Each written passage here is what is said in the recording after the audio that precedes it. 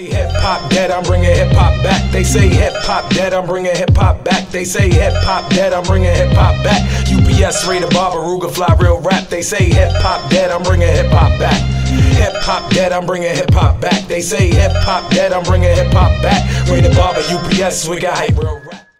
Met this guy named Michael Williams. He was on the wire.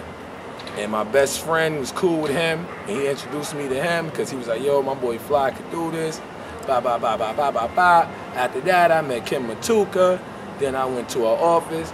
In a little office, like a little glass. It looked like a shower with nobody. Just my ass on the wall. And do something. You like my ass on the wall. Yeah, this acting shit kind of. Okay. Did something. Next thing I know, sign right here. After signing right there, Finding Forrester. Right after that, I got my first role. Like maybe two months after running on 200 auditions and getting a few callbacks, then one and two, then no callbacks, and after that, Finding Forrester. That was your first role, Finding Forrester. Felt like Drake before I knew he was a Jew. My mom made it. Yo, you ever seen him? The window? Nah. But you see us, man. You stay away from the Windows place. Whatever, man. I'll go up there. Now, I've been in SAG since 2000. So this 2014, I've been entertaining for 14 years of my life, always working on my craft. That's all I like to do. Every role I did was urban. Always urban. Majority of, as they say, tight cast.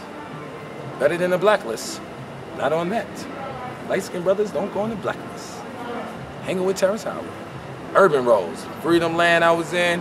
I was a kidnapper, did a few law and orders, telling on people, like people be doing. Did a Nike commercial with Danny Wolf, great producer. Wish I could go to China every year like this. And my wife, we're going to China. China. Where they make all the clothes in America and everything and charge you high prices? That's great. Favorite actor is me. Right there. Just yourself? I never really watched TV and saw somebody that like, I like that. I just saw acting like, I could do that. Man, that looks like cool. That look easy until you're on the set all day for mad hours just to say 50 words. Still getting paid though for something you like. I never was like influenced by any actor like, like, yo, he's great. Yeah, I have a lot of great actors, not to put no no actors down. I just never had like a main actor. Well, I've been rapping from young with my brother Frago, and he and me always was rapping. Well, he was more a rapper, I was more the crack a joke, freestyle like a Noriega, smoking a cigarette. Yo, we N-E-T, N-E-T, huh? That was me, like, I was just always doing that. Like I told you, he introduced me to acting. Jamal Arkell. I mean, yeah, that's my best friend from the age of five. That's all he did, rap. My, my boy Simone, all he did was rap. My boy Ski, that's all he did was rap. That's that's. You wasn't slinging rock or slinging your jump shot. You was rapping, beating on the wall. Man, from a little kid, man. Ever since I seen Slick Rick, I ain't want none of them chains, but I sure wanted Mona Lisa on that train. So Slick Rick was one of the biggest influences for you. Yep, and then Biggie Smalls came out, and I met him at a record store. He was like, Shorty, keep doing your thing. You're gonna do it.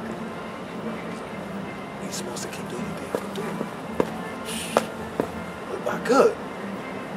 And after that, Tupac came out. That's my skin up. Career. I've been rapping since I was eight. Okay. My, my, my boy, I told you, Frago, we used to go to the studio from when we was like 14, 15. That's how I got the experience of being in the studio and how to just, you know, emulate yourself. You could be yourself. It's crazy how somebody be like, I don't really know, man, how that sound. It sound good to you. Keep it.